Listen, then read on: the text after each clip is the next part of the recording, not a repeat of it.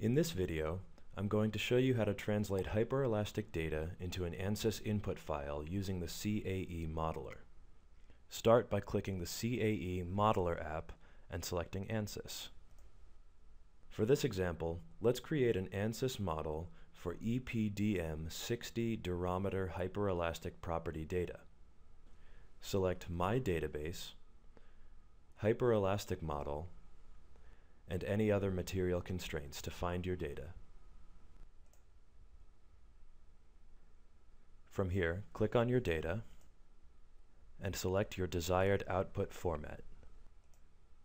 In this case, we're going to use ANSYS Workbench.